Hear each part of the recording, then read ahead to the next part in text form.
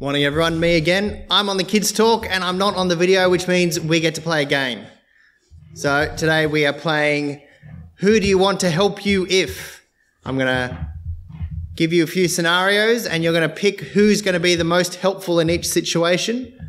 I want to see your votes. You can either vote for the letter A by doing this, or vote for the letter C by doing this.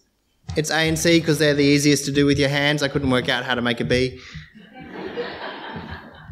so everyone gets to play. Our first scenario is Who do you want to help you if you're sick? A, a doctor, or C, a vet? That's pretty unanimous. Everyone wants the doctor.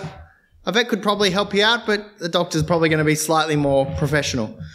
So, the next scenario who do you want to help you when there's a fire? A, a lumberjack or a woodcutter. C, a firefighter. Everyone's going for the firefighter. That's a good idea.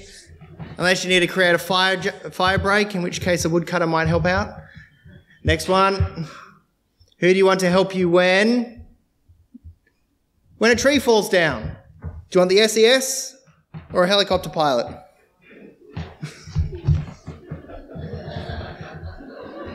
Yep.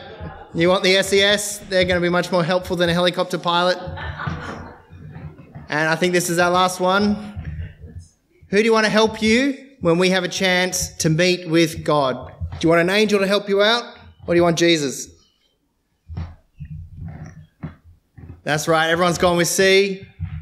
We do want Jesus to help us out, and that's what our psalm is going to teach us today. Our psalm is going to say that Jesus is the one who can keep us safe no matter what happens.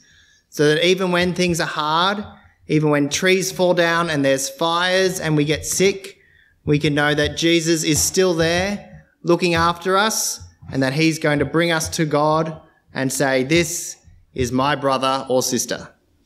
So that's what Phil's going to be talking to us about today. I hope you enjoyed our game.